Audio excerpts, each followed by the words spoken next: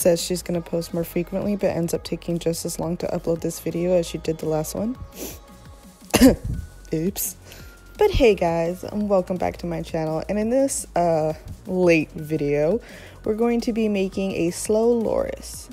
And when starting a new art doll, as always, I like to start off with the head and feet.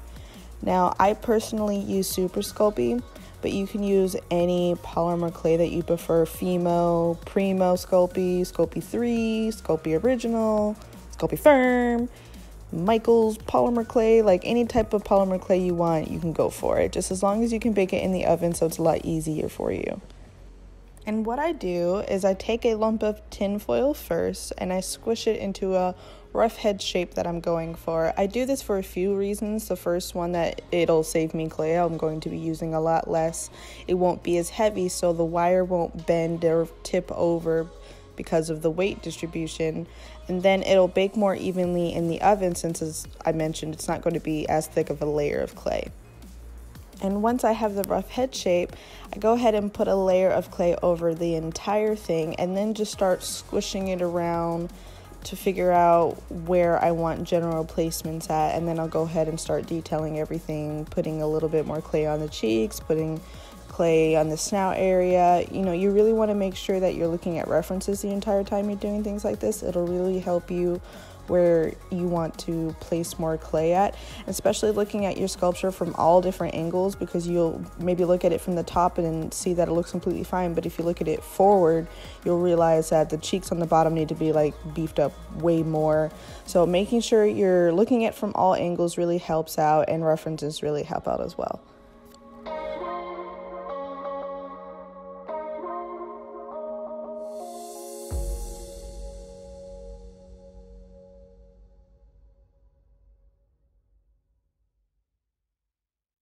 For this particular piece, I'm actually using glass cabochons that I made myself. They are printed glass eyes. I'm still trying to figure out the technique and work out some kinks and stuff before I share how I did this. But um, I just, they look a lot better than I thought they would. And I'm totally going to be doing this from now on.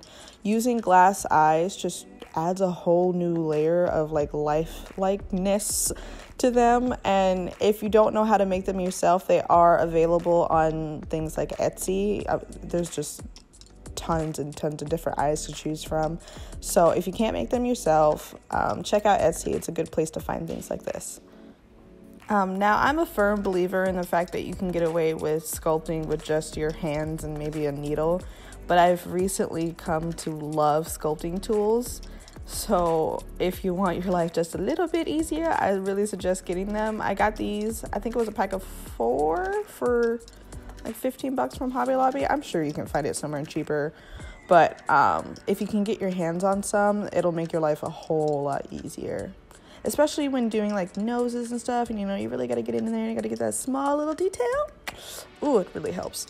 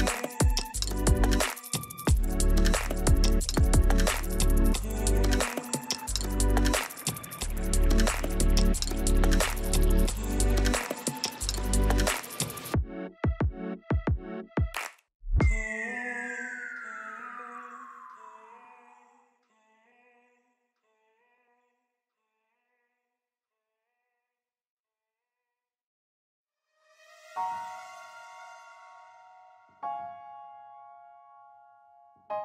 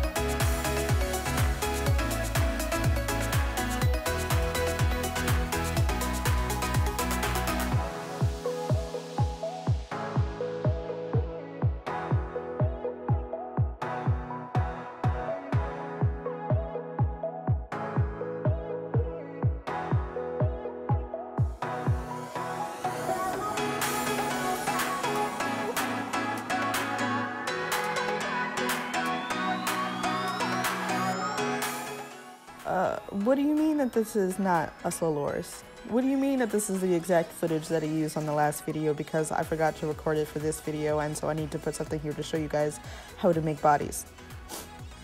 I don't know what you're talking about. That looks like a slow loris to me. So to build up the body for this slow loris and not totally a wolf from the last video, um, I use quilt batting and I just start with very long strips and I start wrapping it around the wire over and over and over again until I slowly build up the body. Um, I try not to go as thick as I want just because I know that when I sew up with the faux fur, it's going to add a little bit of girth to it.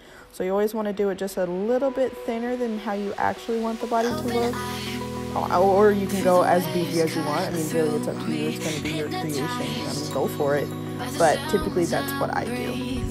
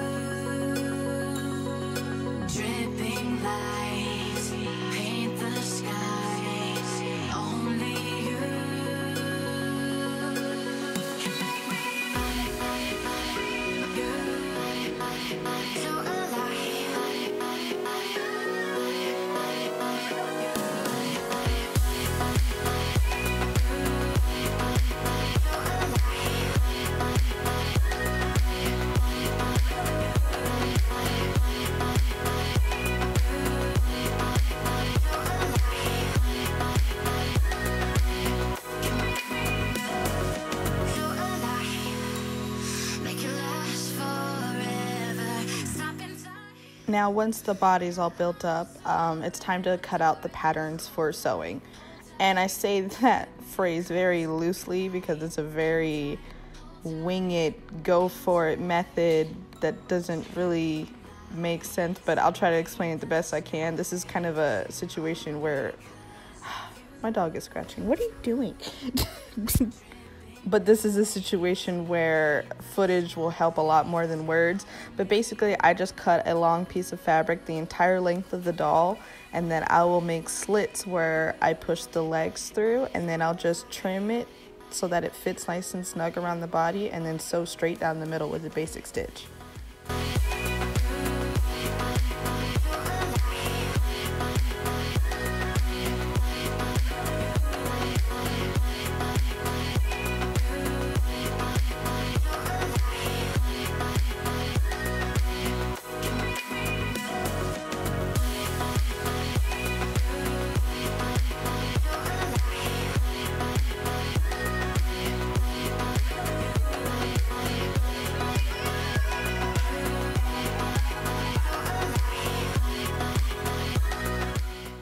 For the legs, I repeat a similar process. I'll cut a piece of fabric the entire length of the leg, and then I'll start sewing from the feet and working my way up towards the body, and then to con- then to what? And then to join the two fabrics together, I use a ladder stitch. And once it's all sewn and fluffy, I always like to go with a pet trimmer and just shave down a little bit um, especially around the legs to make them a little bit more thinner and not as fluffy so that it shapes the body a little bit more. And I really recommend pet trimmers um, if you're ever trying to, because they just work so much better than scissors. You're not going to get like clumps or, or dig in too deep on one cut and not enough on the other. It's going to be all nice and even and smooth and I just I really recommend these things. And it makes it so much faster. You know you take something that's going to take you like 30 40 minutes to like 10 20 minutes and you just oh oh I love these things. I totally recommend them. But even after I um, go at them with the pet trimmer I do like to go back in with scissors because sometimes it's just not going to get it as thin as I want and I just want a little bit thinner just a little bit more thinner. So I'll go back in with the scissors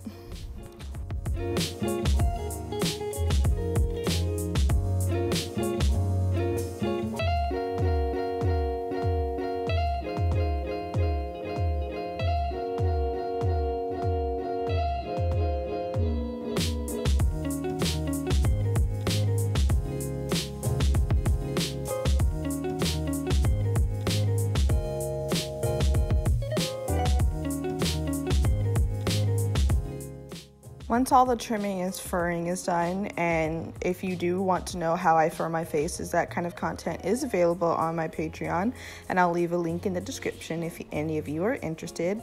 But after that, it's time to go into the airbrush. And I use a dual action siphon feed airbrush, and it's totally a mouthful, but it's just an airbrush that has a paint container that connects to the bottom. Um, I use this to create all the markings that the Slow Loris has. Now, I have gotten a few questions on whether or not using an airbrush makes the fur textured or if it makes it stiff or not. And as long as you're careful and you don't over paint it, you don't add too many layers, the fur will stay the same. Um, it's once you start adding, like, say you're not brushing it out and you've added so many layers of paint that will start to change the texture. But as long as you're not over heavy with it, you're not overwhelming the fur with it, then no, it's totally fine. I only did a, a few layers with this one. It worked out really well. The fur took the paint very easily, and so I didn't need to go back in with so many layers, and so the fur stayed nice and soft like it originally was.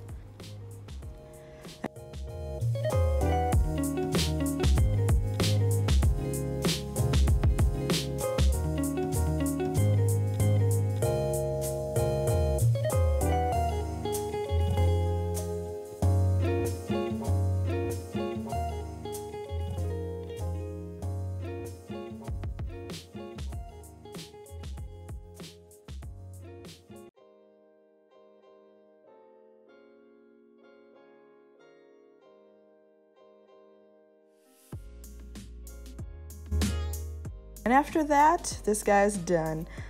As always, I want to say thank you guys for watching my videos and taking the time out of your day. If you happen to enjoy it, maybe give it a like or subscribe. It's totally weird saying that, but you know, everybody does. So, hey, like, subscribe, smash button. but um, I will try to upload more frequently. No promises though. I do have a video already filmed, um, so I just have to edit it. So I'll try to keep on it a little bit better bear with me. But thank you guys so much. And until next time, I'll see you later.